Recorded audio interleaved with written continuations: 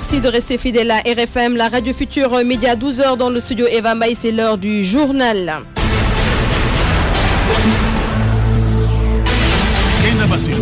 Au sommaire de ce midi, les mèches Darling en flammes. Un violent incendie a ravagé l'usine. Des dégâts matériels énormes sont notés à suivre le reportage de Mamadou Amarjon. Élection locale du 29 juin, l'association des imams et oulémas inquiets, inquiète. Les religieux demandent aux acteurs politiques de promouvoir la paix.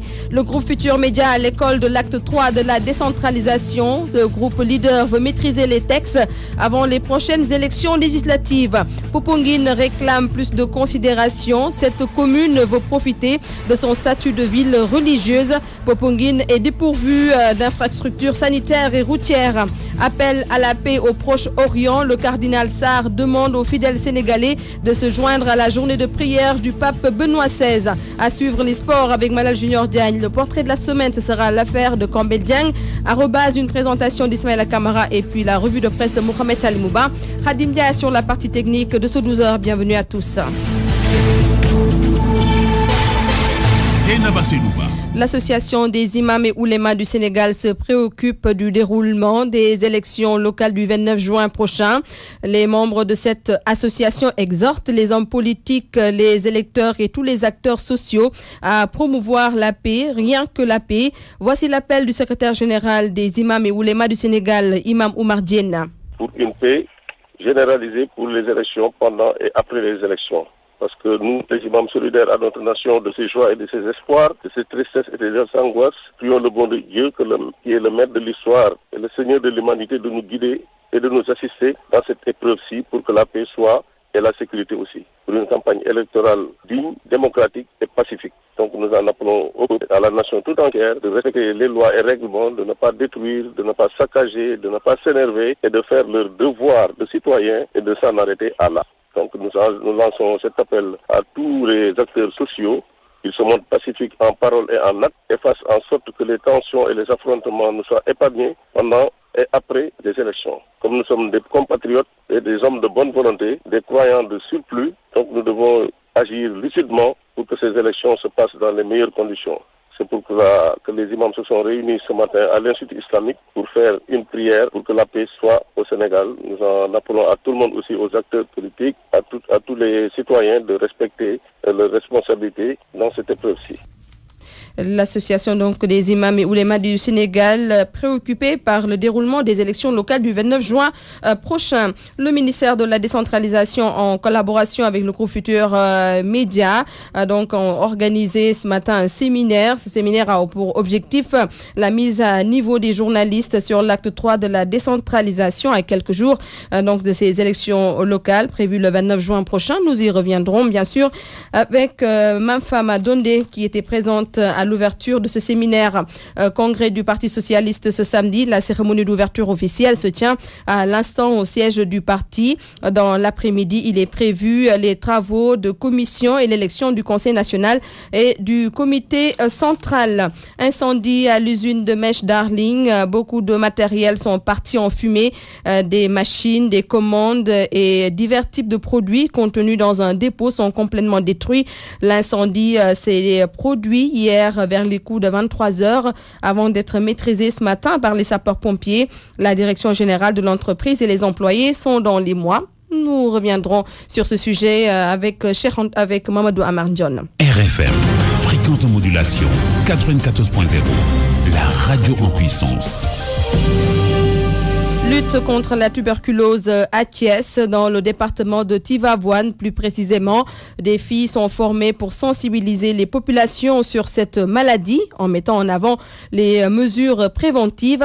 Tivavoine, la correspondance de Cherante Diop. Des jeunes filles issues des associations sportives et culturelles du département de Tivavoine formées pour sensibiliser les communautés sur la tuberculose, une pandémie qui gagne du terrain.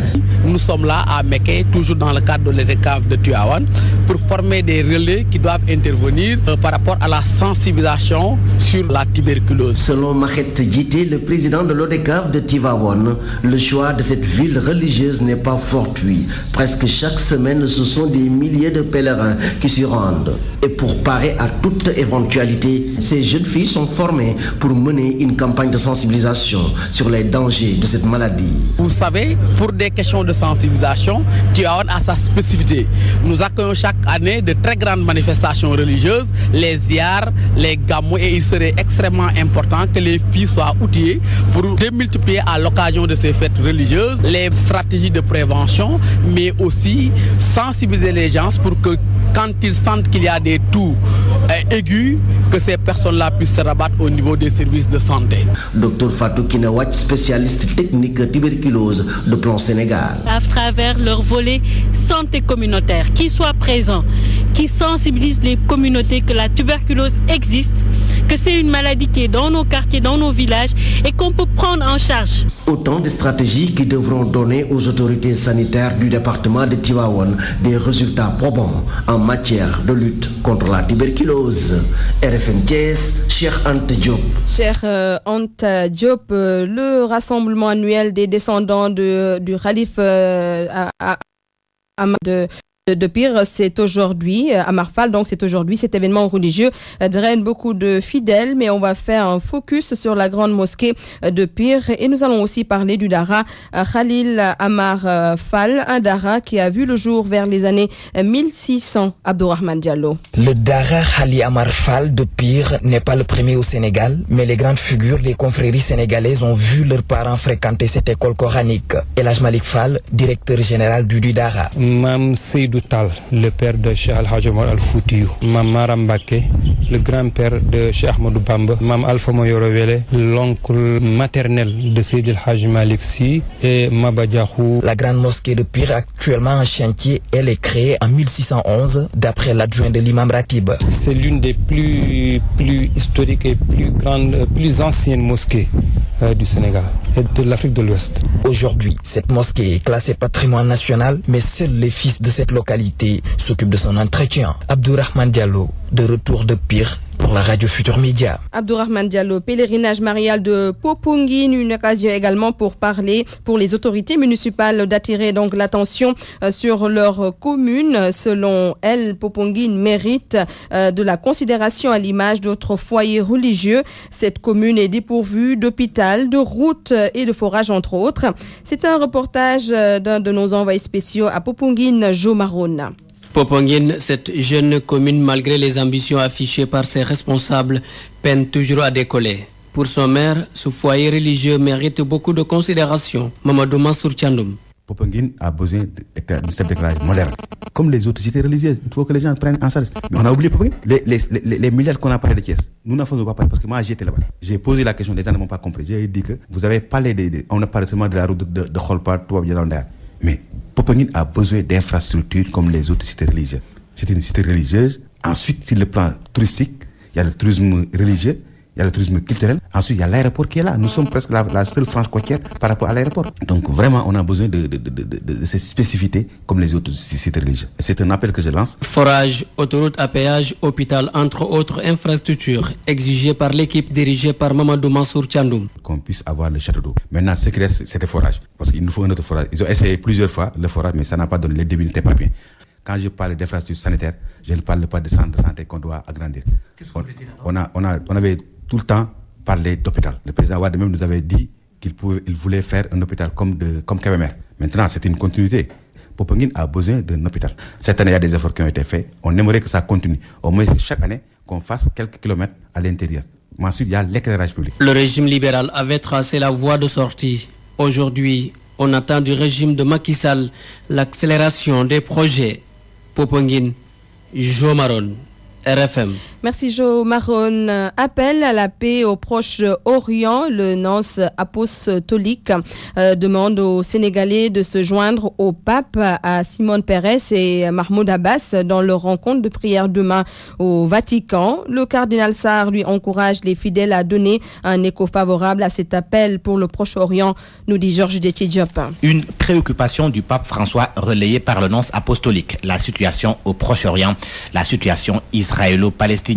Dans un message transmis à l'OFICOM, l'Office diocésain de l'information et de la communication, Monseigneur Luis Mariano Montemayor invite les fidèles du Sénégal à prier avec le pape Shimon Peres et Mahmoud Abbas pour la paix, ce pour les besoins de la Pentecôte. Le pape François lui-même va prier demain après-midi avec les présidents Shimon Peres et Mahmoud Abbas. Objectif, faire monter une vive supplication vers Dieu afin de lui demander le don de la paix. Cadre de la rencontre de prière, la maison du pape au Vatican, ce qu'il avait d'ailleurs annoncé le 25 mai dernier durant son pèlerinage en Terre Sainte. Le nonce apostolique indique que le Saint-Père souhaite vivement que tous les fidèles soient impliqués dans cette initiative. Luis Mariano Montemayor ajoute que les hommes de bonne volonté pourront se joindre à l'initiative dans la profondeur de leur cœur. Quant au cardinal Théodore Adrien Sarr, il encourage les fidèles à réserver un écho favorable à cet appel et à prier intensément pour la paix au Proche-Orient et dans le monde entier. Popongine va s'y mettre pour cette 126e édition du pèlerinage marial. Georges Diop, Popongine, Radio Futur Média. Georges, nous restons à Popongine. Bonjour Barthélémy Ngom. Bonjour Diana Bassédou Basso. Alors, vous allez présenter le journal donc euh, de Popongine. Alors, euh, quel sera le menu de ce journal? Voilà, bonjour à tous également, à tous les auditeurs et auditrices de la radio Futur Média. Et nous vous disons également bienvenue ici à Popongine pour la 126e édition du pèlerinage marial. Nous allons, entre autres, hein, évoquer tout à l'heure dans le journal du pèlerinage la marche pèlerinage, qui est une démarche de foi. Dans les différents foyers, l'on se prépare et la messe d'envoi des marcheurs aura lieu cet après-midi. Autre chose, Djenaba, c'est la dernière assemblée générale préparatoire euh, du SICOMAP, c'est le comité interdécanal de coordination de la marche pèlerinage. Il était question, Djenaba, de revenir un peu sur l'itinéraire et les conditions de la marche. Demain, Djenaba, nous évoquerons aussi le thème de cette 126e édition du pèlerinage de Popongine. Et Marie, sa mère, retenait et gardait fidèlement tous ces événements dans son cœur. Un message plein de sens euh, qui sera décortiqué par Anna Rocha. Pour tout cela, donc, Djenaba, nous vous donnons rendez-vous euh, tout à l'heure. Ce sera avec plaisir, Barthélémy, mais juste retenir que 10 000 marcheurs sont attendus demain, n'est-ce pas? Oui, oui, c'est vrai. 10 000 marcheurs sont attendus. Et des marcheurs qui vont quitter demain. Et l'arrivée ici à Popongine est prévue demain dans l'après-midi aussi. Des moments intenses à ne pas rater. Ce sera avec la radio Futur Média et l'équipe déployée sur place, comme on dit à RFM. Ça s'écoute et ça se voit. 12h13 minutes. RFM Sport. Bonjour Malal Junior Diagne. Bonjour Diane Abbassi Douba. C'est l'heure de faire du sport et tout de suite nous démarrons par la lutte hein, avec, euh, frappe. avec frappe.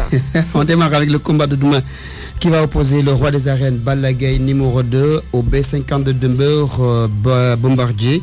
Un combat tant attendu du côté de Guédiouaï. L'on se mobilise, l'on sonne déjà la grande euh, organisation pour aller envahir les tribunes du stade Demba Diop et pousser le roi des arènes à une nouvelle victoire.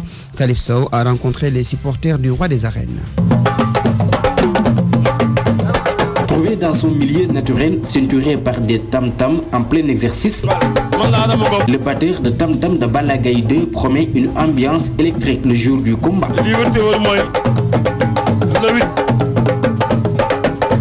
Le jour du combat, j'amènerai 50 tam-tams au stade. L'ambiance sera garantie. Du côté de l'entourage immédiat du lutteur, même constat, la confiance règne. Balagay 1, encadreur du roi des arènes. Nous sommes prêts sur tous les plans. La victoire est déjà acquise. Moussa Ndiaye, le président de l'école de lutte, lui, promet une mobilisation des grands jours. Nous allons amener plus de 100 cars au stade et je suis sûr que d'autres supporters en feront autant. Et les tout petits refusent d'être en reste. On en croise d'ailleurs quelques-uns dans les rues de Guédiawaye. Ils donnent de la voix.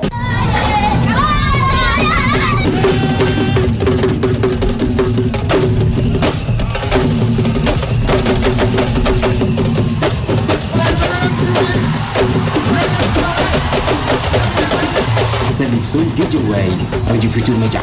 Nous parlons toujours de lutte maintenant avec euh, l'adversaire du roi des arènes, euh, Bombardier Seringa. Euh, Quelles sont ses forces et faiblesses? A-t-il les moyens pour battre le roi des arènes à Omaron Journaliste à la radio Zik fait m'a tenté de répondre à cette question? Je pense que Bombardier, en tant que lutteur, euh, c'est un lutteur aguerri, c'est un lutteur hors pair. Même euh, s'il a un parcours parsemé de, victoires et de défaites, euh, même s'il n'a pas aussi retrouvé la victoire depuis presque trois ans, parce qu'il a été battu plus dernièrement par Yahya Diop Yekini, et je pense que au-delà de cela, il est, un lutteur exemplaire qui a des potentialités quand même. Parce que Bombardier, euh, quoi qu'on puisse dire, c'est un, un, lutteur bagarreur. Des fois, des gens disent que les bras ne sont pas trop longs, mais je, ne partage pas trop cet avis euh, parce qu'il a la force frappe très dure. Si l'on se réfère à- aux open press euh, de Bombardier, il lui révèle tout le temps euh, qu'il va privilégier la bagarre. Je pense que sur ce plan-là, euh, Balla doit être plus prudent. Côté, côté faiblesse, Bombardier n'est pas trop fort en lutte pure et dure. Parce que euh, il, pêche des fois euh, sur ce plan, parce que c'est son, com- son combat avec Yekini avait révélé qu'il n'était pas fort sur ce plan et il avait essuyé de critiques de partout. Un combat donc à suivre en direct sur la radio RFM demain à partir de 11h. Nous serons au stade à Guédiawaye, à Hambourg, mais également avec des consultants euh, pour euh, vous plonger dans cette ambiance. Parlons football à présent avec les demi-finales de la Coupe de la Ligue Guinée Seydouba ce soir à Kaolack. Au stade de la Gueye, l'équipe de Guédiawaye Football Club va défier l'AS Saloum sur ses terres. Hambourg, l'attraction de ces demi-finales, le Djambar, champion du Sénégal en titre, qui reçoit l'AS Pekin qui est deuxième au classement.